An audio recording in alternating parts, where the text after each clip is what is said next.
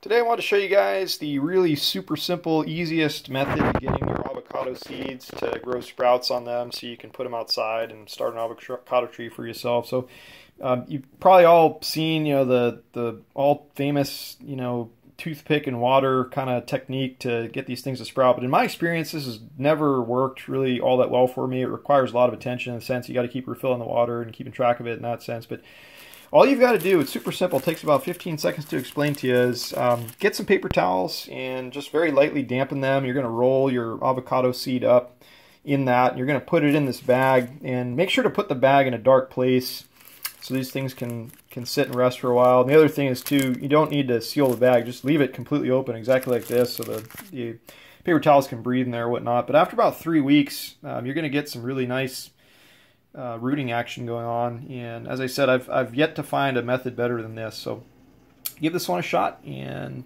let me know how it works down below if you've got any better methods that you've been using.